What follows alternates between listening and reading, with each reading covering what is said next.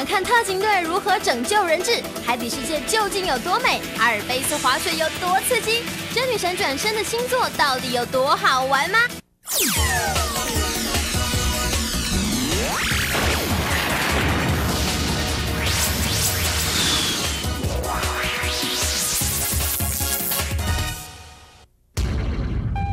未来综合台，电玩快打我，是电玩骑兵艾利克斯。我是电玩小魔女小贤，Aloha。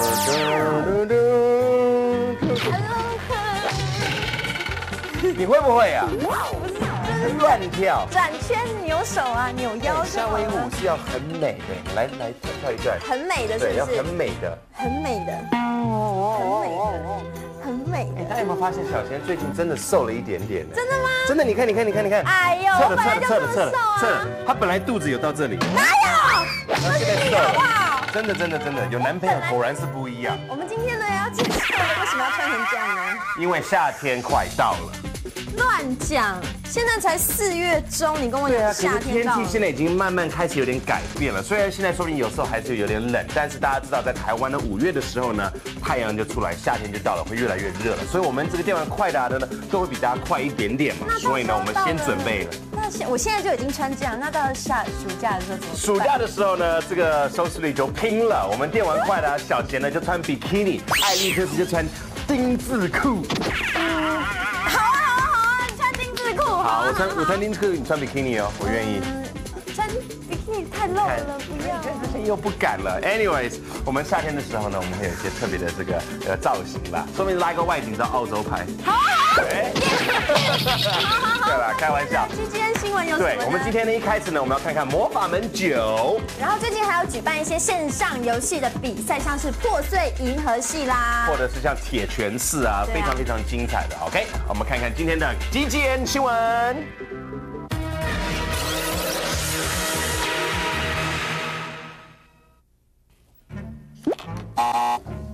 晚安，你好，欢迎收看这一节的积极新闻，Game GX News，我是主播黄怡贤。我是主播钮诗怡。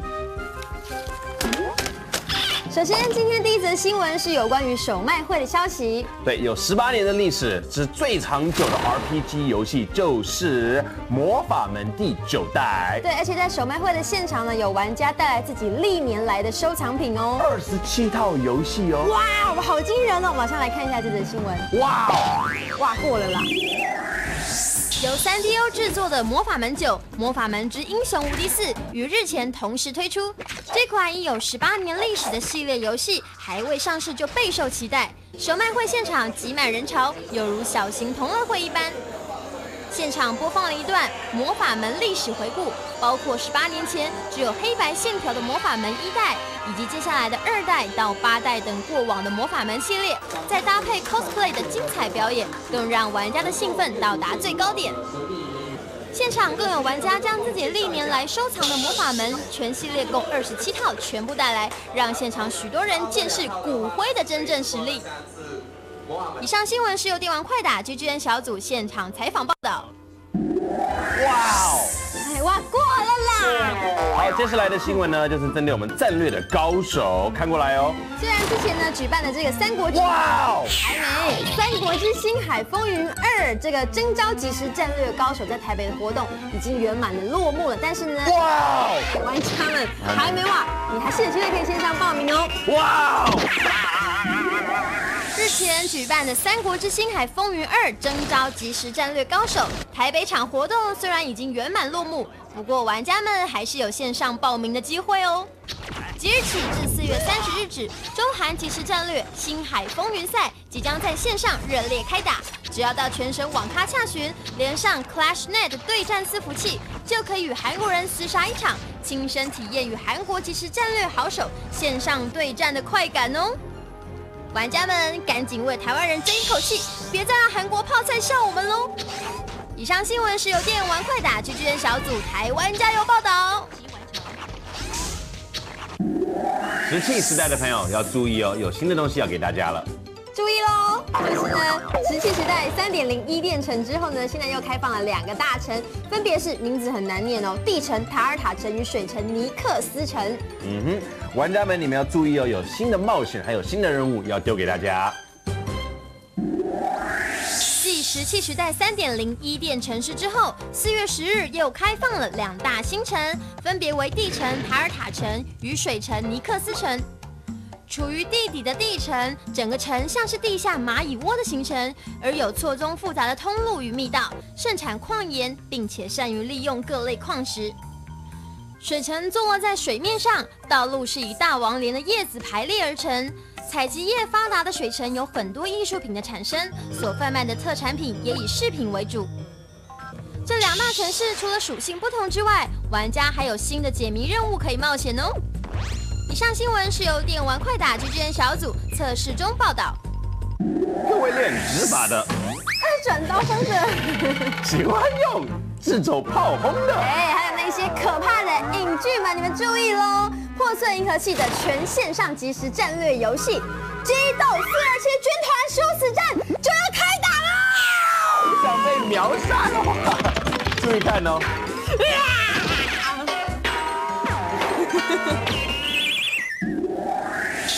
似乎有不少线上游戏比赛开打。前阵子推出的线上游戏《破碎银河系》将举办台湾第一场全线上即时战略竞赛——激斗四二七军团殊死战，于四月二十七日星期六线上开打。参赛者从报名到比赛全部在线上进行，参赛者只要上网就可以报名参赛，而且比赛当天不必长途跋涉到现场参赛，这样子可以省去不少等候的时间哦。以上新闻是由电玩快打 GGN 小组连线比赛中报道。看了这么多 PC game 的比赛之后呢，我们 PV game 的玩家，我们没有忘记你，不会错过的。然喽，这个 PS Two 这个首次在台湾举办的这个铁拳四的格斗比赛，当然不会忘了玩家们喽，赶快来看。啊！啊！啊！由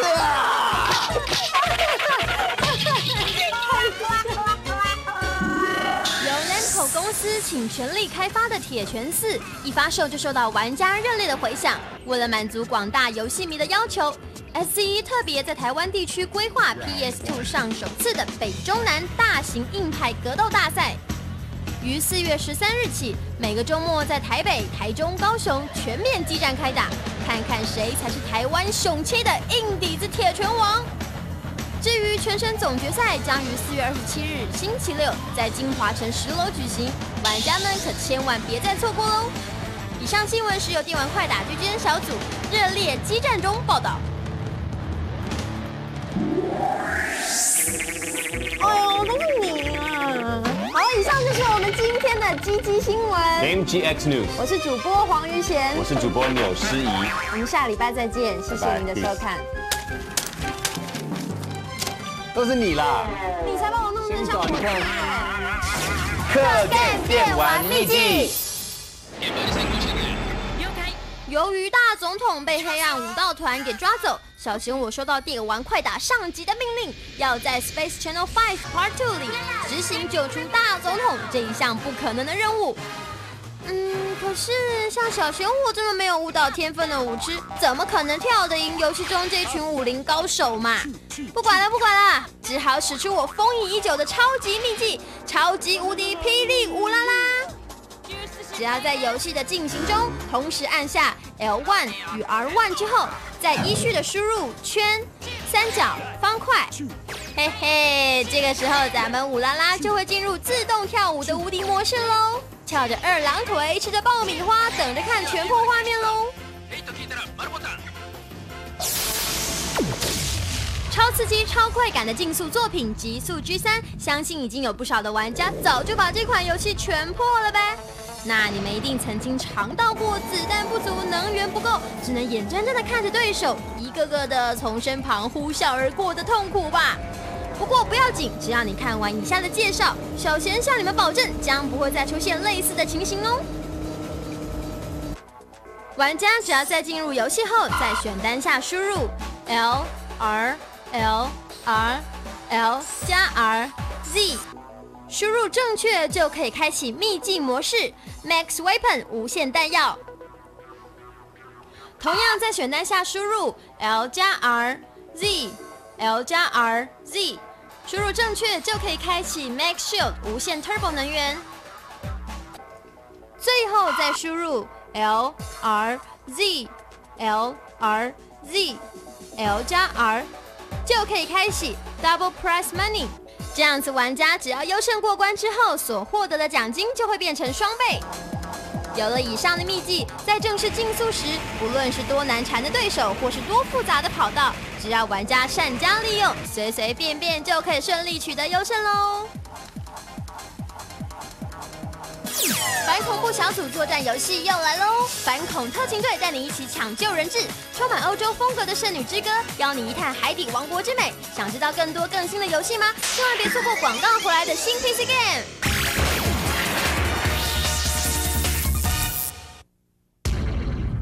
电玩快打有一套，街头巷尾都知道。若想当个电玩通，周周收看，别漏掉。你有没有发烧啊？你怪怪的耶！你今天怎么会电玩骑兵艾利克斯变成一个中国人写诗啦？Of course, when you look at me, do you see an American or a Chinese person? American，我是个中国人根本就。是个外国人嘛！你从小吃汉堡长大，你也不会讲台语，对不对？然后呢，你又是在美国，你也没当过兵，你怎么能够算是中国人呢？三岁到四岁的时候，我住骊山一年，和平西路九十八号八楼长大的。灵光捷运站旁边的加油站，隔壁这个莱尔富对面就是艾利克斯二楼楼下。你不要再跟大家讲我的家好不好？直接走提顶上那个桥下来的时候，到瑞安街左转，到那边走。哦，对不起，那是你的家啊，火中汤啊，光复南路跟那个。啊，讲什么啊？没有，我们今天的这个呃，哦，对了，为什么今天要作诗呢？今天呢，艾利克斯呀，write a poem for everyone. So today it's your turn. You write a poem to me to Game GX. We'll pick the ten best ones and we'll give you a gift. 现在讲的意思就是说，哈，我们请观众去外面公园抓两只碰，然后抓来之后呢，遇到电玩快打，然后怎么样？没有了，我帮你翻译好不好？国际的节目主持人要会讲英文。讲不对吗？现在啊，你要写到电玩快打一段诗，哦我们选出来选出来前面十个最棒的，我们会送一个很很精美的一个礼物，很一个神秘的礼物给大家，多神秘！很神秘，多精美，大家精美。干嘛自然会脚啦？重点是你现在完全变了一个台湾人了耶！Of course, me Taiwan，身份证、护照都拿给大家看。哦，好，那告诉大家，我们今天 PC Game 要介绍什么 PC game 呢，我们要看一看，就是《圣女之歌还》。有一个呃，我很爱玩的对，一《圣女，之歌就是第一人称射击游戏，可是我很玩的很烂。什么 game？就是反恐特勤队，讲出来自己都觉得不好意思。我们来看一下今天的 PC Game 新 PC Game。由守护者之剑原班人马所制作的《圣女之歌》是一款关于海的故事。故事是说，一个名为艾坦的女孩不小心跌落海中，却意外的到了华丽的人鱼城，而展开了一场自我追寻的冒险旅程。哎，小贤，等一下，等一下，等一下，等一下，你说这个充满欧洲风的 CG 又很漂亮的《圣女之歌》这个游戏是国产吗？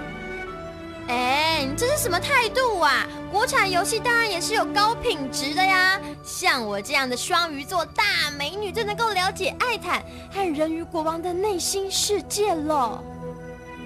小贤，你好像离题嘞。哦，是吗？嘿，不好意思啦，不如啊，我带你去看看游戏里的战斗系统，这样子你就能够心服口服啦。游戏运用了一套全新设计的战斗系统，让玩家可以在横跨三个游戏画面的超广角战场上和敌人进行战斗。战斗的进行方式也很特别，玩家有看到画面上方那四条正在动的线吗？那就是下达指令的地方哦。所以说啊，战斗的时候，玩家必须谨慎的指挥全场，决定什么时候要使用魔法或是特殊技，才能够发挥团队合作的最大战斗力哦。要不然呐、不是自己挂点，就是队友挂点，那可就糗喽。哇塞，这个游戏看得蛮酷的，来玩一玩吧。第一人称射击游戏又来喽！而且啊，这款反恐特勤队啊，是由玩家根据魔域幻境的城市引擎所开发出来的哦。怎么样，不错吧？哎，看起来这个游戏不赖嘛。不过这个游戏的主题呢，好像就比较没有创意了，根本就是 CS 一模一样嘛。哎，别这样嘛！玩家可以选择正义的一方，扮演反恐怖小组，完成解救人质、保护基地，或是歼灭恐怖分子的任务，或者是扮演邪恶的恐怖分子，管他是杀人还是放火，样样行啦。不过说了这么多，哼，还是看不起来这个游戏哪里好玩呢？开玩笑，用魔域幻境开发引擎制作出来的游戏，当然是画面美、声音优啦。游戏中的地图场景啊，有一些还是取材自真实的地形哦，保证让玩家看得流连忘返，被打死都忘了喊痛哦。另外，游戏中一个主要任务通常包含几项小任务，每个小任务的时间都限制在四分钟之内，玩起来呀节奏超紧凑的啊，时间快来不及了。Mission aborted. 哎，这个游戏应该有多人连线功能吧？没错，而且有超过一百张地图可供玩家挑选，所以啊，挑选地图时再也不用担心敌人或朋友可能因为玩太久而知道地图的制约点喽。那我们去乱杀吧！Come on，Let's go！在宇宙的深处，恐怖的伯格人发展出一种可以瞬间将整个星球居民同化的船舰，把这些居民变成跟他们一样半人半机器。而曾经被伯格人同化、现正隶属于联邦星舰企业号的毕凯舰长，怎么能够做出这种危机的发生呢？赶快再次率领你的星舰战队去消灭伯格人吧！冲啊！杀！好了好了好了。话说回来啊，《Star Trek Armada 2》啊，其实跟以前的版本呢不一样，他们已经进步了很多。但是它的优点是什么呢？它跟它的这个 TV 连续剧啊，它的剧情跑的一模一样的。对啊，在单人游戏故事中，玩家可以率领《星舰迷航记》中最著名的三个种族进行游戏，分别是联邦、克林贡人以及伯格人。而罗穆伦人以及卡达夏人也会在游戏中扮演吃重的角色哦。至于战斗画面，那可是这一次二代进步最多的地方喽！各种 3D 技术已经运用到出神入化的地步，不止船舰可以在 3D 的空间中移动，在战斗时还有五种 3D 舰队移动阵型可以变换哦。这么美的画面，会不会让人家忘记战斗啊？如果你战斗太专心的话，你根本忘记看这个游戏的这个 CG 嘛，对不对？那怎么办呢？来就来就不，为了体恤你们这些无法一心二用的玩家们，游戏特别增加了记录功能，能够在每一次任务结束之后重播战斗的过程哦。哇，酷！打完游戏还有电影可以看哦，这种享受只有 Star Trek 才有。最近 Activision 推出了一款声光效果直逼大型电玩的华丽 3D 赛车游戏《梦幻房车赛》。艾利库斯，你这么喜欢玩赛车游戏，一定不会错过吧？啊，我当然知道这个游戏呀！开玩笑，我电玩骑兵艾利克斯，哎，我最喜欢玩的就是赛车游戏。这个游戏最大的差别跟 GT 呢是什么？就它里面的车呢，几乎全部都是欧美车。对啊，对啊，像是莲花或是庞蒂克这类的帝王级车种，应该不至于没人听过吧？只不过在游戏开始时是无法直接登上这些跑车的驾驶座的，必须要先通过游戏中的各种考验才会开放新车种让你驾驶哦。还有还有，梦幻房车赛提供了二十三条赛道，这些赛道分别处于七座不同的城市，而以三 D 引擎重建城市的赛道，绝对让玩家叹为观止呢。光是美美的巴黎花都就有三条不同的路线可供玩家选择哦，著名的地标也都会出现在画面上哦。哇，阿利库斯，你看，你看！不要再烦我了，我在开车。啊啊！你看，撞到东西了啦。天气热的让人受不了了，来去阿尔卑斯山滑雪吧！RPG 名作《真女神转身》将有全新的风貌，还想知道更多的游戏吗？就别错过广告后的电玩快打哦！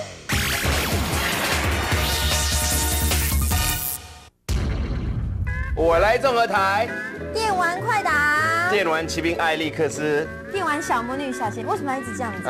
我知道了，不是啦，这是那个 hang loose 的意思，在夏威夷呢，你都会看到做这个手势，什么意思？aloha，对，aloha hang loose，hang loose 就是掉的那边掉 hang。，loose 就是轻松。哇因为那个夏威夷的人呢，他们都坐在吊床上面呢，很轻松的天天这样过生活。你真的对夏威夷很了，果然有一个夏威夷女朋友就是不一样啊！我忘记你女朋友不是夏威夷人哦，对不起。好，很多人玩家呢，在这个呃玩游戏的时候，都会发现一些很特别的事，像前阵有一个新闻，对对对就是对对对有两。个玩家，你知道他们结婚了，一个在高雄，三十二岁，对还有女方那边呢是香港人，二十七岁。怎么认识的呢？他们是玩这个《金庸群侠传 Online》这个游戏，他们玩了十个月之后呢，那个男的就到香港，因为这个女生的要求就是说，你要求婚的话，你一定要在很多人的这个面前呢下跪跟他求婚。Katy, Katy, will you, will you, will you lick my face? 舔我的脸呢？不肯说好舔。没有了，真的真的，我刚刚看到你的时候我就怕了，就紧张了，真的，我再来试一次。好，我不是夏威夷女郎，我不是大写人啦，我跟你讲，不行不行，我看到你的脸就不想结婚了我就想到一一辈子后悔七十年的这种痛苦。好，今天 TV 给我们介绍什么？我们今天 TV 给你们介绍第一个游戏呢，就是这个 Alpine Racer 滑雪的这个游戏。阿尔卑斯滑雪，我很做的很第。三代，第三代。嗯，很过瘾。然后还有一个就是这个 RPG 名作《真女神转身》。嗯哼然后另外我们就来看一下今天的 TV。Game，新 TV Game。嘿嘿嘿，刚才一直让小陈在那边现，现在呢这款 ESPN NBA 两千零二呢，总算能让我来 show off 一下吧。好啦好啦，我知道啦，你是不是又想说，当年我可是个打遍天下无敌手的灌篮高手啊？吼，拜托，又不是老头子，每天都在想当年。你还是好好的介绍一下游戏吧。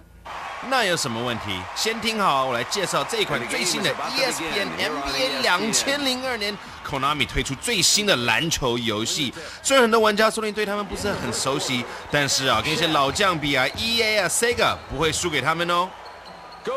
这系列最有特色呢，就是赛前呢、你可以看到你每个球员的体力、你的状况。假如那一天他 feel good 的话，哇，投篮非常准，然后防守也非常非常好，这个很重要，因为那天的输赢呢，就靠这个前面的看一看，哎，feel good 还是 feel bad？哎，你 feel good，你会打得像 superstar，哦，你 feel bad，你用 Michael Jordan 都没用，会被别的球员狂点。新的游戏呢，跟旧的游戏有很大的差别，有做很多的进步。现在呢，球员的速度都加快了，然后这个画面的流畅度呢都加强了。这两个东西呢，是以前他们的版本呢都被很多这个 hardcore 的玩家呢都被笑，所以他们做了很大的进步。这次公司说呢，我们一定要做很棒很棒的不同的游戏。他们现在速度加强，然后画面呢流畅度现在越来越顺了，所以呢，现在游戏不会输给 EA 的 Live 系列。不过啊，这个游戏呢有很大的进步，但是我觉得还是有它的这个缺点哦。从这个艾利克斯电玩骑兵的一个专业的角色来看呢，我觉得最大的缺点呢，就是他们全部的造型嘛。拜托，打篮球的会有这么胖吗？啊，不可能的。然后他们的这个表情都没有变，都是笨笨的、呆呆的这个表情。哎，我知道了，是老板没有给他们薪水，对不对？而且艾利库斯，你不觉得这个游戏对于 replay 的判定好像有过于严格吼？嗯，我也这样觉得哎。你看，我刚刚这么漂亮的灌篮都没有来一个 replay，啊，你那个叫漂亮的灌篮，哼，你闭嘴，专心打球好不好？That kid is off the chains. Jordan. 由光荣所推出的超人气战略游戏《提督的决断》也堂堂的推出第四弹喽。这一次 PS2 版的游戏完全不同于以往，战斗画面完全的给它 3D 化，将海战那充满魄力的临场感真实的表现在画面上。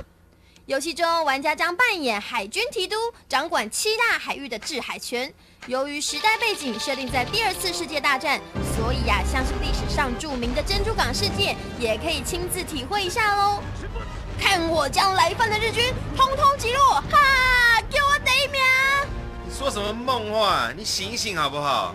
哦，这是一个 game，OK？、好，游戏的地图我跟你讲哦，非常的庞大，公分成五十个海域。同时在战争系统方面啊，利用了新开发的 VR 绘图技术，让游戏中九十艘以上的舰艇以及三百架以上的航空队在战场上激烈的作战，就如同真实海战般逼真哦。除此之外啊，提督的调度能力以及战场上指挥舰队的行动，都会影响到战争的结果哦。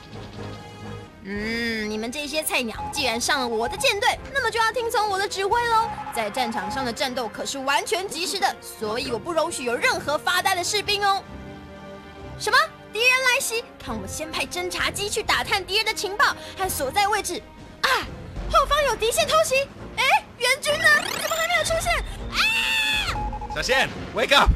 你清醒一点好不好？你 crazy，take it easy。日本早就已经输了，wake up！哎，艾利库斯，我问你哦，你知道游乐器史上的第一款 SRPG 是什么吗？啊，那还用说吗？当然就是《圣火降魔录》啦。哇，你好厉害哦，居然知道哎！啊，那当然了，你太小看我了，我是电玩骑兵艾利克斯哎。不过啊，你问我这种古早的 game 干嘛呢？哎呦，难道你不知道《圣火降魔录》又出了最新的作品《封印之剑》吗？当然知道啊。这一次《封印之剑》的游戏内容啊，还是继承了《圣火降魔录》的优良血统，有着丰富的游戏剧情与高难度的战术变化。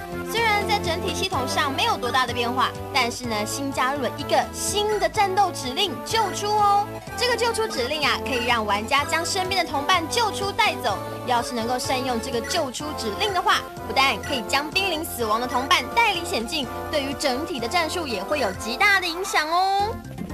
而且啊，封印之剑还充分的利用了 GBA 的通信对战功能，透过对战线啊，可以进行最多四个人的连线对战哦。等一下，等一下，等一下，小贤，你讲了这么多，但是我还是有点好奇，就是武器上面有个这个这个数字是干嘛的？哈哈哈，这个可是圣火系列的最大特色。这个数字啊，其实就是武器的耐久度，每一次使用之后呢，都会耗损。所以啊，要是拿到超强的武器，最好发挥咱们中国人勤俭的美德，省着点用吧。另外啊，在封印之剑当中，死亡的角色可是没有办法复活的喽。自己苦心培养的角色，若是被敌人打倒，就只能够跟他说声再有那啦，再会啦。小小贤啊，呃，不不好意思啊，不 不要生气，我我刚把你的那个同伴呢给玩死了。什么？艾利库斯，你居然害死了我同伴！你你还我同伴的命来！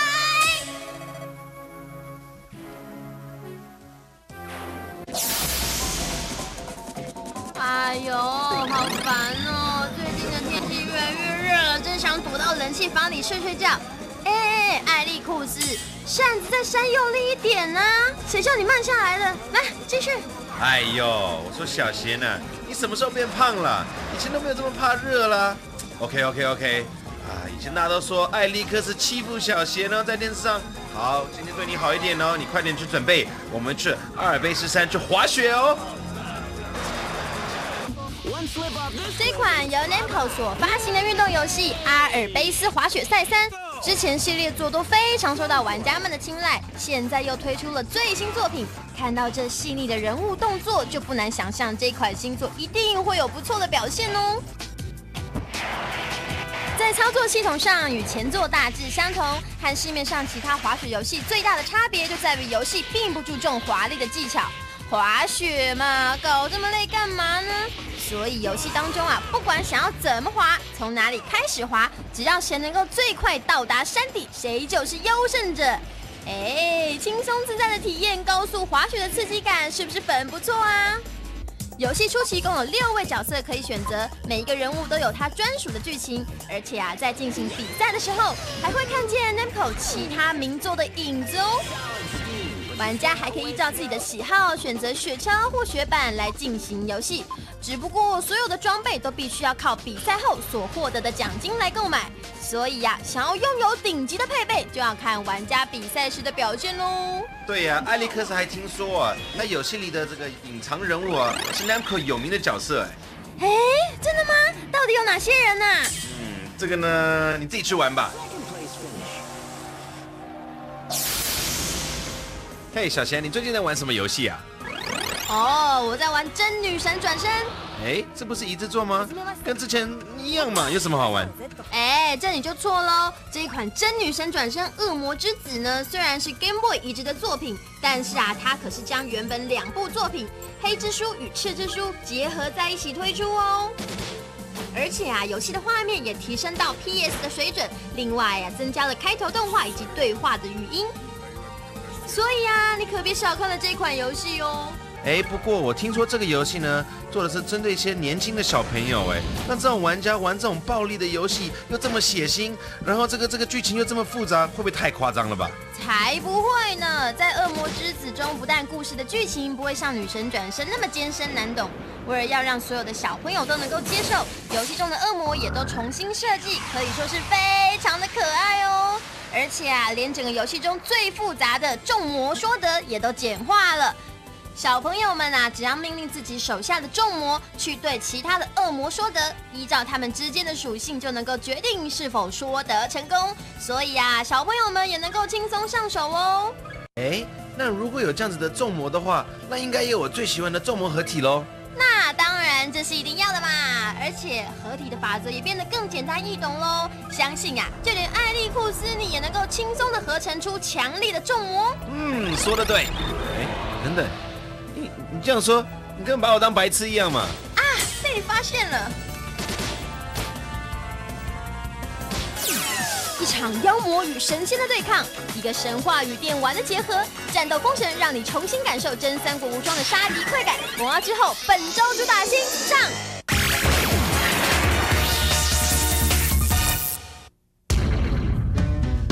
电玩，电玩真好玩。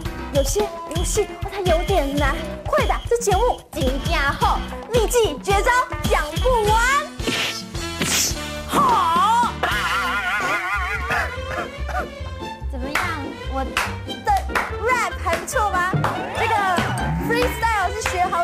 知道吗？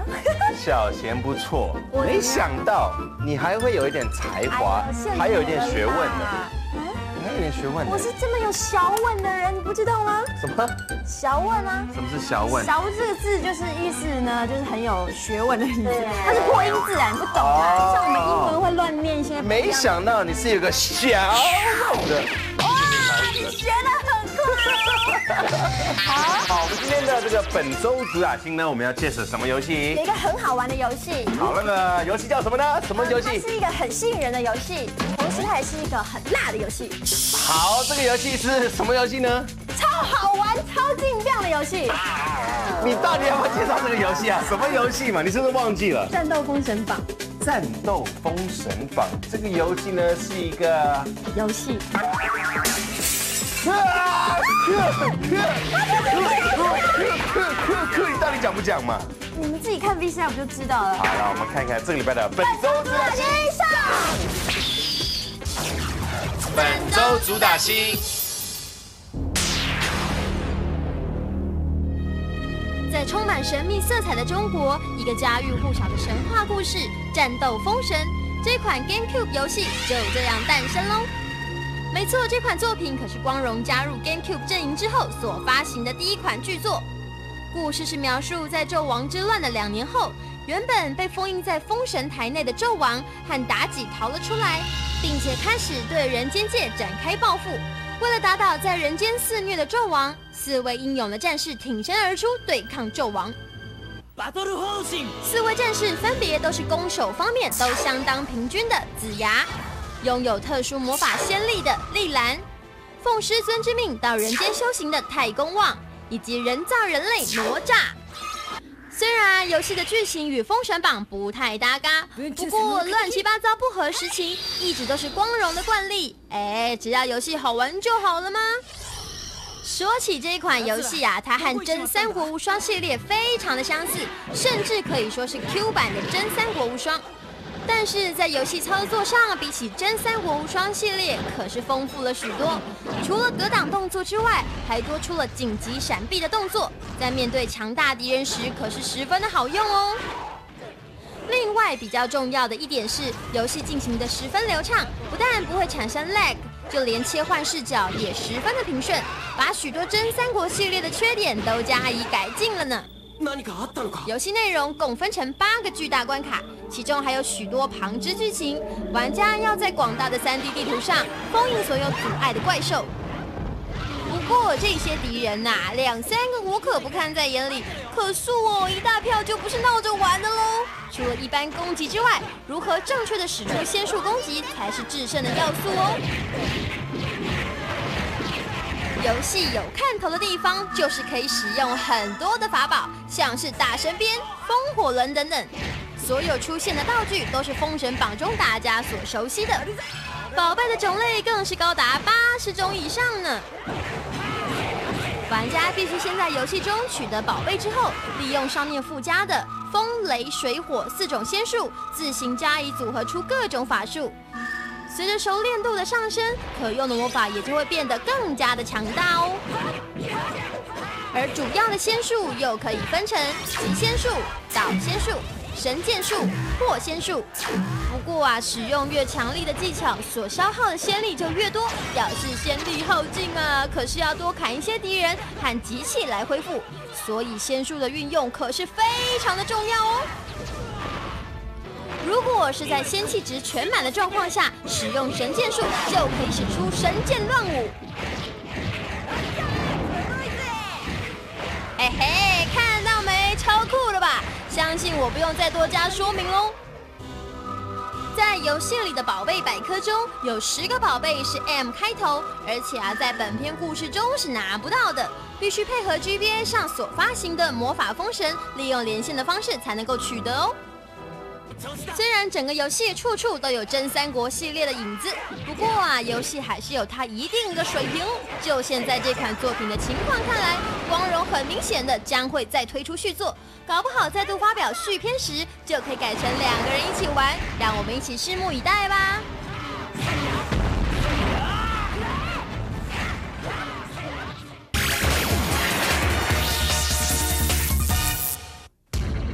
我来综合台，电玩快打，电玩骑兵艾利克斯。电玩小魔女小贤，小贤，我们刚进入的广告，我还是想一想，你还是不要去写诗啦。我觉得你念的真的蛮烂的。不是我不是诗，我是 rap。哦哦哦哦，狗哦是 rap 哦，OK 好。上辈子是黑人。好，了解了解了解，是 rap。好，反正我们刚刚这个目的呢是跟大家讲，还是要写诗。来这里 Game GX，我们会选出十位，我们会送很棒的这个礼物其给大家实我们的。礼物不是随便讲讲，真的是很棒的礼物对。那只不过就是一些平常艾利克斯不要玩的一些，比方说争霸玩到不想玩的，然后还星海争霸的四年前的这个游戏。Anyways，我们今天呢穿了这样子啊，有一个目的，就是我们说夏天来了。对那夏天到了，有好东西哦。夏天的电影很多哦好的电影，对对对。像前一阵子我去看电影，看到预告片，看到那个蜘蛛人预告片，好屌哦！哇，很恐怖。飞来飞去的那个特效做的很棒。知道前阵子啊，因为我都没有时间看电影，所以我就去租了那个 DVD 来看。对所以我看什么新片呃，Swordfish，很旧的。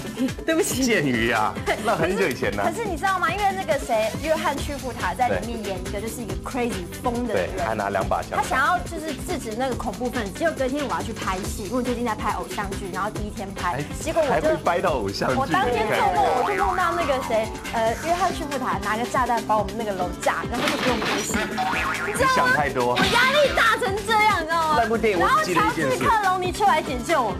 我只记得一件事情，那部电影就是 Holly Berry 那个女主角把露露上身。你只记得这个啊，你只记得人家是脱衣。好了，我们讲到这些电影啊，这些精彩的影片啊，我们看看这个礼拜呢，我们有些这个动画区，我们要介绍一些游戏。铁拳四对，Tekken Four 很棒很棒的一些这个动画。另外一个呢，就是我们的机器人大战。Impact，我们来看一下今天的动画特区。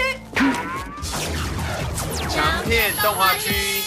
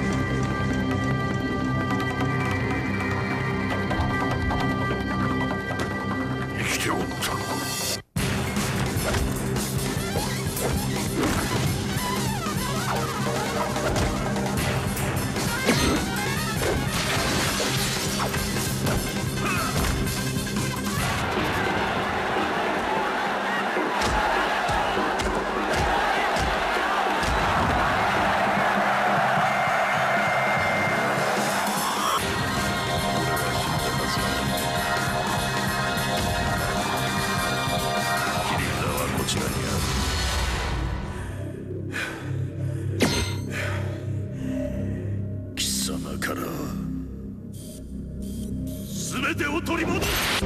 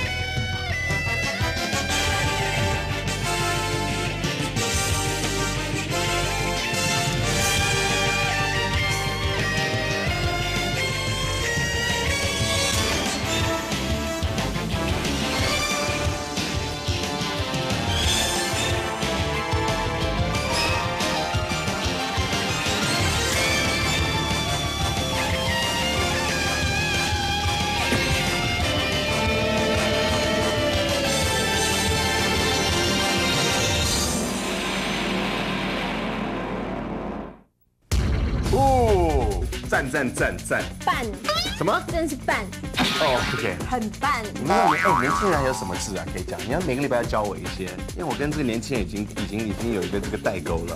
好，呃，PMP 是什么意思 PMP？PMP PMP 是 pimp，英文的 pimp P M P 嘛不是，pimp 啊叫什么？pimp 就是那个皮条客。不是，是 PMP，就是拍马屁。